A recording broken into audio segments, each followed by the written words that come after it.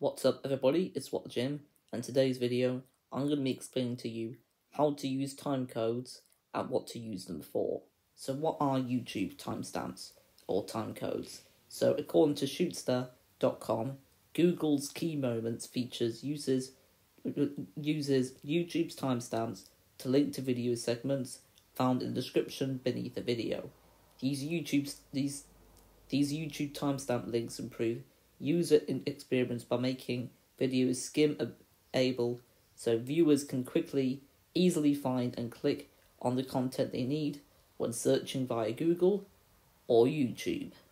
But if you don't really get what that means, I'll quickly explain it in my own words. So what it means is when you go on a video, you get to just select a specific moment for that video. For example, if I'm doing my top 10 movies video and, and you only want to watch my, my favourite movie, then you, then you go ahead and and use the timestamps and time codes to go ahead and get to my favourite movie I was talking about. If you want to know more about it, if you want to know more about time codes and timestamps, then I'm happy to maybe, give more examples or give a better ex explanation. Just just let me know in the comment section below if you want to see that, and I'm, I'm happy to give a better explanation on what time codes or timestamps are. For the for the rest of this video, I'm just going to call them time codes. That's what I call them when I when I use them on my videos.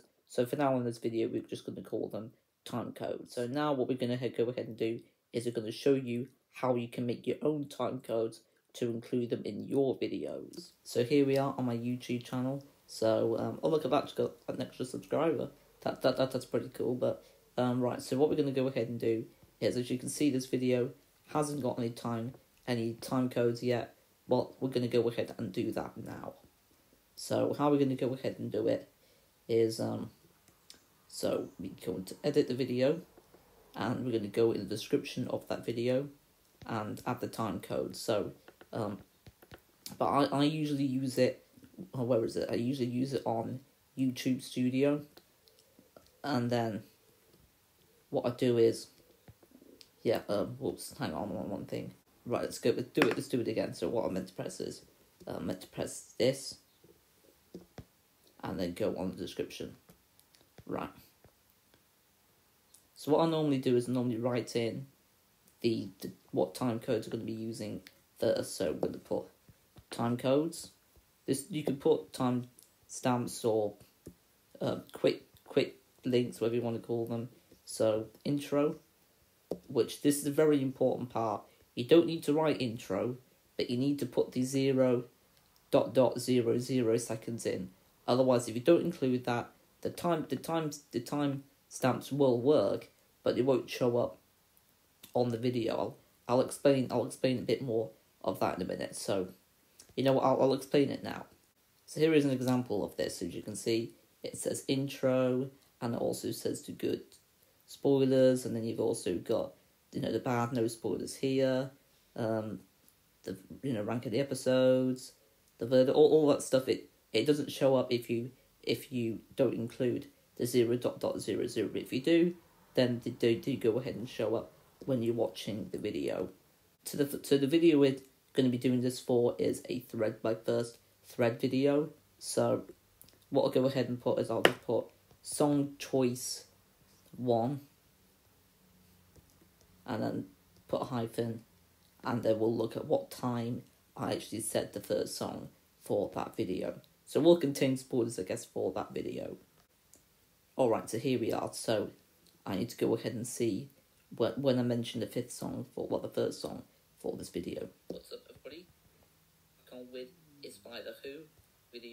You, you could put yours in the order if you want, but I've just got mine in a random order. And right, so 59 seconds. So what we'd go ahead and put is for the song choice number one, we'd put zero dot dot don't don't don't forget the dot dot and then um 59 seconds. There we go. So that's that's for song choice number one. And we're going to keep doing that until we've done all the song choices. So i'll be with you in a sec once i've done all these song choices. Right so here we are. I've done all the time codes for that thread video. So i've done it for song choices 1 to 5 recap and outro. But there is something else i want to tell you about the time codes. They have to be each of these segments have to be at least 10 seconds in length for them to actually show up on the video.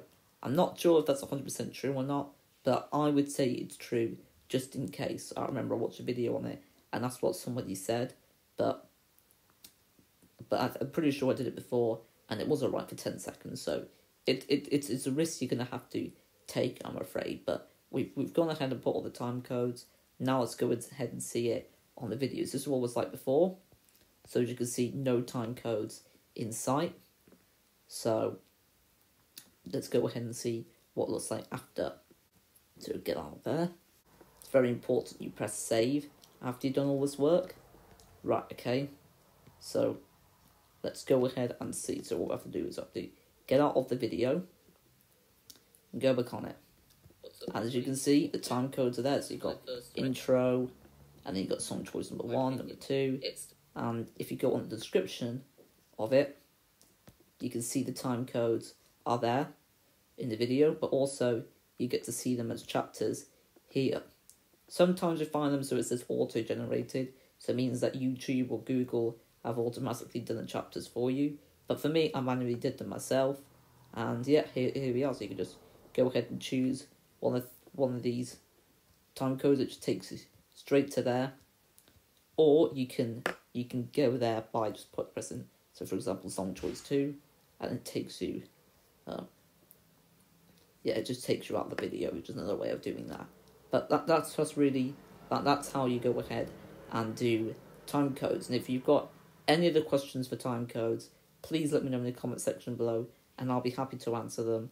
Uh, I want as many people to use this as possible because I think that this is a brilliant feature that a lot more people should include in their videos.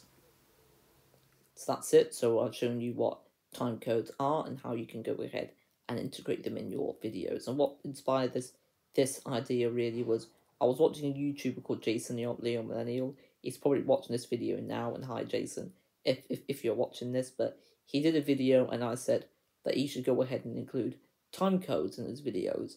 But he said that that sounds like a really cool idea, but he didn't know how to do them. So I thought I could go ahead and FaceTime him and explain to him. But I thought if I do it on a video, more people will be able to see how you use time codes. And like I said, I want more people to use them because this is one of my favorite um, features when editing a YouTube video. But that's really all I say here, and hopefully you found this video very, very useful, and I'll see you guys in the next video. Until then, peace out and ciao.